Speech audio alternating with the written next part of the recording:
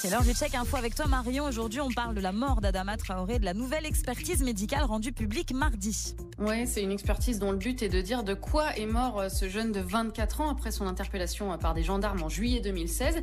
Et c'est pas la première, hein, puisqu'il faut dire que l'interpellation n'a pas été filmée, hein, ni la course poursuite, ni évidemment ce qui s'est passé dans la voiture puis à la gendarmerie. La famille d'Adama Traoré euh, se bat donc avec les juges autour de ce que peut dire le corps, hein, sauf que l'état d'un corps, eh bien, ça s'interprète. Et on a donc une série d'expertises et de contre-expertises. La première expertise, j'imagine, c'est d'abord l'autopsie.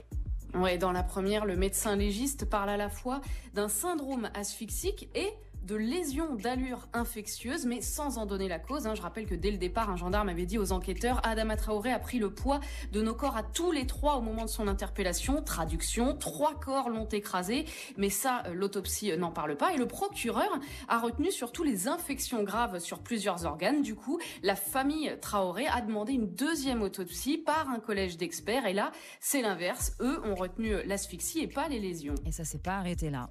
Et non, passé euh, les autopsies, les les organes d'Adrama Traoré ont été examinés en septembre 2016, hypothèse d'une cardiomyopathie exposant au risque de mort subite, puis en juillet 2017, on revient à l'état asphyxique aigu dû à un épisode d'effort et de stress, lequel? Le rapport ne le dit toujours pas, et ça continue. Septembre 2018, expertise dite de synthèse qui conclut que le pronostic vital était engagé bien avant l'interpellation à cause d'une combinaison de maladies dont Adama aurait été porteur sans le savoir, drépanocytose et sarcoïdose.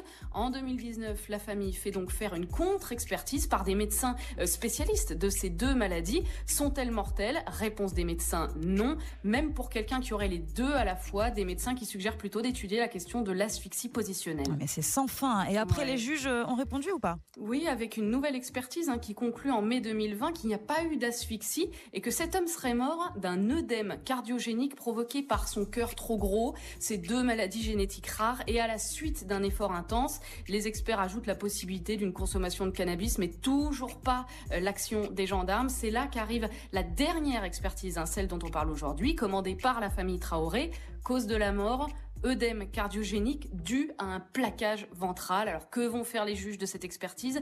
Vont-ils en demander euh, encore une autre? Rien ne les oblige, mais on voit bien avec cette liste qu'une expertise médicale, ça n'est pas forcément neutre, hein. ça peut servir d'interprétation et ça peut s'orienter selon ce qu'on veut faire dire au corps, en l'occurrence, soit que les gendarmes n'ont rien à voir avec le décès, soit qu'ils en sont précisément responsables.